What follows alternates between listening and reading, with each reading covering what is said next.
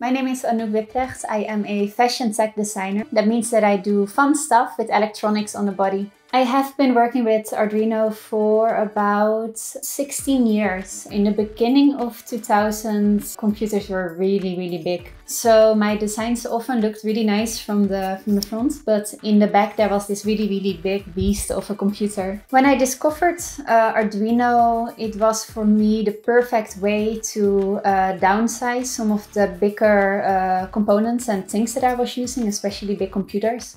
So really downsizing it into a really small a small form factor that was really easy to program. I think the coolest thing about Arduino is that it makes uh, working with electronics really fun. It is something that you can easily work with it, um, especially when it came out. The big thing was like, yeah, derivative, being a derivative of C++ programming, which is a hard uh, coding language to learn. So easy access and, and being able to do things in a really easy way. That's definitely something that um, I think Arduino is really good at. And yeah, for prototyping, therefore, it's, it's just a really great tool to use. The boards that I use myself are the Arduino Uno uh, for prototyping. Also when I give courses, I do workshops or I give, uh, I teach.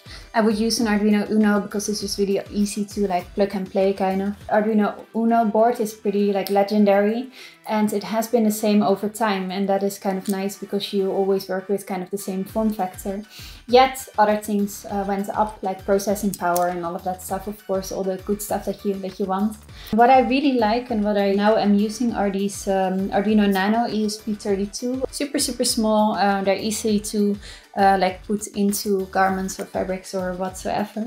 And um, also like with that, uh, you can like connect to your design, right? Whatever you have. Uh, for example, the dress that I have here next to me is a collaboration with Chromatic 3D. And it is also having yeah, one of the Arduinos in there. And uh, it is basically a dress with a proximity sensor. When you step into the personal space, LEDs on the dress start to light up. So both the proximity sensor as also the LEDs are connected to uh, one of these. These are all examples of uh, yeah, what happens when you put technology technology on the body and let it interact with either yourself, body signals, or the world around you, sort of, you know.